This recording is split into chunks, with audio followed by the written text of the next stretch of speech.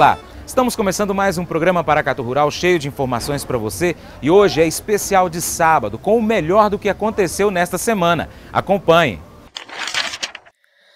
Embrapa Arroz e Feijão é uma das unidades descentralizadas da Empresa Brasileira de Pesquisa Agropecuária, Embrapa, vinculada ao Ministério da Agricultura, Pecuária e Abastecimento. O centro de pesquisa foi fundado em 1974 e integra o Sistema Nacional de Pesquisa Agropecuária, voltado ao desenvolvimento de investigações científicas e tecnológicas relacionadas às atividades agrícolas e pecuárias. A participação da empresa na AgroExtend 2015 foi de grande valia para os produtores e também para os profissionais envolvidos. Para a Embrapa é uma satisfação muito grande participar de um evento técnico como esse, um evento bastante conceituado, né? porque traz aos agricultores o que há de mais novo em termos de tecnologia. Né? Então a Embrapa compõe esse evento trazendo as tecnologias que estão sendo desenvolvidas pela nossa pesquisa, o que há de mais novo em termos de cultivares, em manejo né, de pragas, de doenças, né, de plantas daninhas e, e tudo mais que envolve a cultura do feijão. A sede da Embrapa Arroz e Feijão está em Goiás e há décadas esse trabalho de pesquisa é realizado. Além disso, outras unidades, como a Embrapa Cerrados, também estão vinculadas à Embrapa Arroz e Feijão. A Embrapa Arroz e Feijão fica localizada no município de Santo Antônio de Goiás. Ela vem desenvolvendo pesquisas né, há algumas décadas com as culturas do arroz e a cultura do feijão. Hoje a Embrapa Arroz e Feijão abriga é, unidades é, da Embrapa, como Embrapa Soja, Embrapa Milho e Sorgo, é, Embrapa Gado de Corte, Embrapa Gado de Leite, Embrapa Cerrados, Embrapa Algodão, né, porque são culturas né, que, que, que compõem o, o bioma cerrado. Então a Embrapa vem desenvolvendo tecnologias em todas essas, essas culturas em Goiás. Entre os trabalhos realizados pela Embrapa está a divulgação das novas cultivares, que têm como características qualidades específicas para agradar aos produtores. Além de alta produtividade, essas variedades trazem maior resistência a pragas, o que requer menos gastos com defensivos. Para quem cultiva em grande escala, isso representa uma considerável economia. Nesse evento em especial, a Embrapa trouxe para a divulgação né, e para o conhecimento dos produtores e consultores da região algumas cultivares que foram lançadas nos últimos anos, né, para que sejam, tem, os produtores tenham mais opções né, de definir quais são as melhores variedades, quais são os melhores cultivares para eles adotarem nas suas áreas de produção e com isso ter ganhos né, em termos de produtividade, em termos de menor uso de insumos, né, com variedades mais resistentes a doenças, mais tolerantes ao ataque de pragas. Né, e esse é o objetivo da Embrapa, é trazer ao produtor a, o ganho econômico, o ganho social e o ganho ambiental. A cigarrinha do milho é vetor de diversas viroses, como o enfesamento vermelho, que corresponde ao maize bush stunt, na América do Norte. A incidência dessa doença vem aumentando nessa década e é favorecida por temperaturas moderadas a altas. Seu agente causador é um fitoplasma. Outra virose também trazida pela cigarrinha é o enfesamento pálido ou amarelo, conhecido também como corn stunt, muito comum nos países da América Latina e Central. Essa doença é favorecida por temperaturas mais altas do que aquelas que favorecem o enfesamento vermelho. No caso do enfesamento pálido ou amarelo, o agente causador é uma espiroplasma, denominado espiroplasma com Kelly. Essa virose, denominada cornistante ou buchistante, é uma virose transmitida pela cigarrinha do milho. Essa cigarrinha, de nome científico Dalbuides maides, é um, um inseto que é o vetor dessa doença, dessa virose. Então, de agora em diante, a gente tem que começar a preocupar bastante também com o monitoramento dessa cigarrinha e teremos, consequentemente, que fazer aplicações, é, aplicações para tentar é, dizimar com essa praga na lavoura, né? Porque se persistir essa cigarrinha por muito tempo, nós vimos áreas esse ano com 100%, 100 de percas. Então tem, é uma preocupação grande de agora em diante. Entre os sintomas da virose estão ressecamento das plantas e espigas e morte prematura, causando perdas expressivas na lavoura. Em alguns casos, o prejuízo para o agricultor chega a 100%. Essa cigarrinha, ela suga, ela injeta uma, uma, esse vírus chamado fitoplasma na cultura do milho, né? E esse vírus, ele fica incubado durante 16 a 30 dias e depois que o milho pendoa, vai aparecer o sintoma da doença. Quais são os sintomas característicos? Pode dar é, enfesamento na planta, enfesamento com estrias avermelhadas, morte prematura de planta, seca prematura das espigas e, consequentemente, é, pode haver percas até 100% na área. A cigarrinha do milho é encontrada geralmente em toda a região neotropical, onde esse milho é cultivado, desde o nível do mar até altitudes além de 3 mil metros. A temperatura e a disponibilidade de hospedeiros são fatores limitantes para a manutenção e a explosão populacional dessa espécie. Pouco se sabe sobre os inimigos naturais da Demaídes, ou cigarrinha do milho, mas, em geral, os predadores e parasitoides têm papel importante na dinâmica população. A opção do controle químico deve ser adotada somente em último caso e a aplicação se mostra mais eficiente sobre os adultos da cigarrinha. O inseto da cigarrinha, né? Ele é esse adulto aqui que pode chegar até 3 centímetros de comprimento, de coloração palha, né? E assim que a gente verificar uma incidência importante desses insetos na lavoura, temos que entrar com aplicação. E quais produtos podem ser aplicados para combater essa cigarrinha? Nós temos uma série de produtos à base de neonicotinoides, né? Nós temos, por exemplo, Actara, Galil, Acefato. Todos esses produtos combatem com eficiência a cigarrinha. Então a dose, o momento de aplicação, deve seguir rigorosamente a recomendação do engenheiro agrônomo, né?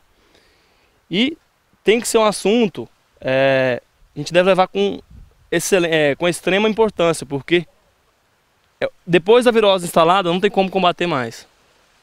Né? Não tem produto que combate com eficiência ou produto registrado essa virose depois de instalada. Então, a tática mais inteligente a se fazer é combater esse vetor, que é a cigarrinha.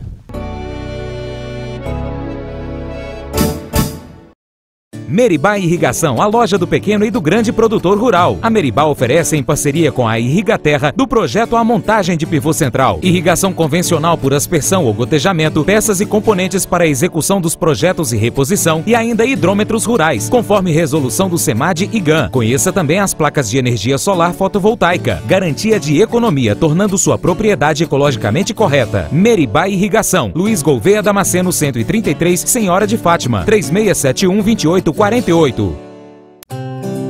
Super Fértil, 15 anos em Paracatu. Agrônomos e técnicos com capacitação para um atendimento e acompanhamento especializado ao agricultor. Representante de grandes empresas multinacionais do agronegócio com agilidade na entrega dos produtos e ainda estacionamento exclusivo para os clientes. Super Fértil, 15 anos em Paracatu. Marginal 040 749 Alto do Açude, 3672 3630 Hey. Posto Cruzeiro, posto de combustíveis, peças, acessórios e serviços para veículos leves e pesados, ferramentas, peças para máquinas agrícolas, troca de óleo e lubrificantes, aluguel de equipamentos para construção civil e completa lanchonete. Posto Cruzeiro, qualidade de quem é líder, confiança de quem tem 55 anos de estrada. Posto Cruzeiro, a amizade que faz a diferença e te transforma em muito mais que um cliente, um parceiro do nosso sucesso.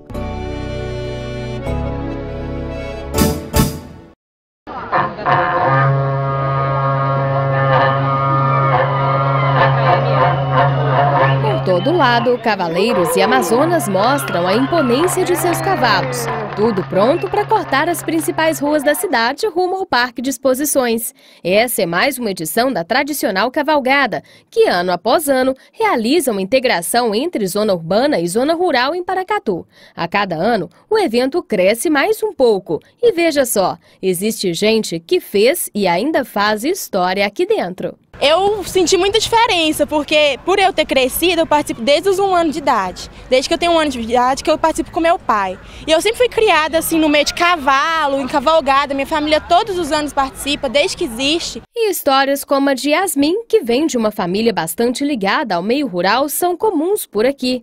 Todos os participantes da cavalgada querem mostrar um pouco de si e de suas comunidades, fazendo do evento algo rico e digno de orgulho para o homem e para a mulher do campo. A satisfação é ainda maior quando comparamos a cavalgada realizada em Paracatu com outras presentes no interior do país. É importante ressaltar que a cavalgada, estamos na vigésima, não são 29 anos de cavalgada, ela leva a cidade toda para o parque. A cavalgada é a grande mostra da exposição, é o grande convite, né? Os cavaleiros amazonas passando nas ruas de Paracatu. E é um esporte muito bom, né? Que está em convívio com o animal, convive com a natureza, né? E no convívio também com a zona urbana da cidade. E a população vendo os amigos ali, os conhecidos montados a cavalo, com os trajes típicos, representando as comunidades. É uma tradição belíssima, talvez seja uma das maiores cavalgadas do Brasil. Então Paracatu está de parabéns o homem do campo e a mulher do campo está de parabéns, porque nós sabemos já o resultado que vai ser essa cavalgada, um resultado de alegria, de uma confraternização muito importante. Então eu tenho certeza que essa cavalgada vai ser uma das maiores em número de animais e uma das maiores em beleza, mas o que é muito importante. Para Yasmin e sua família, a cavalgada é um momento único, onde as pessoas da cidade têm a oportunidade de conhecer um pouco do campo e as pessoas do campo podem conhecer mais os vizinhos e suas próprias comunidades. Esse ar descontraído e amistoso dá um sabor a mais para o evento e faz com que os participantes terminem o percurso já esperando pela próxima edição. Eu acho que é um evento que devia ter mais de uma vez na cidade, porque reúne, tipo assim, todo mundo, todo mundo se conhece de certa forma. A cavalgada é só o início de cinco dias de muita festa e a 29 Expo Paracatu promete agradar ao público com torneios, shows. Eu quero tchu, eu quero tchá, eu quero tchu, tchá, tchá, tchá. E tudo que o município pode oferecer em termos de agronegócio e entretenimento. Eu quero tchu, tchá. Isso aí, galera. Esse é um novo hit do João Lucas e Marcelo. Tchau,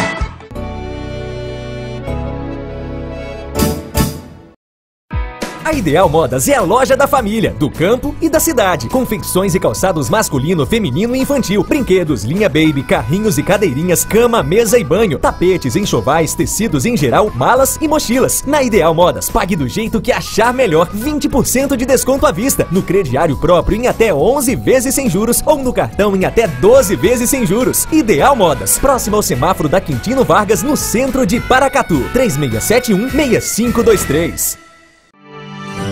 Você sabia que pode ser dono de um apartamento em Caldas Novas por a partir de R$ 194,44 por mês? Isso mesmo! Conheça o mais completo resort de Caldas Novas, Mirante da Serra Termas Resort. Mais de 27 mil metros quadrados com 17 piscinas, lazer e rentabilidade dentro de um mesmo espaço. Fale com nossos corretores e conheça o apartamento decorado. Mirante da Serra Termas Resort. Informações 38 9951 7671 ou 3408 7671. É dia de comprar barato no Supermercado Paracatu. Os menores preços para você e sua família sempre saírem ganhando. Açougue completo, panificadora, frutas e verduras fresquinhas, frios, bebidas, produtos da cesta básica, utilidades domésticas e muito mais. Faça seu cartão Super Compras ou use o seu cartão de crédito. Supermercado Paracatu, aberto de segunda a sábado até às 21 horas e aos domingos até às 13 horas. Supermercado Paracatu, essencial no seu dia a dia. Programa de hoje está terminando. Acesse o nosso portal www.paracaturural.com.br. Reveja os nossos programas no nosso Facebook, facebook.com.br paracaturural. Muito obrigado pela sua atenção, que Deus te abençoe, tenha um excelente final de semana e até segunda-feira. Tchau, tchau.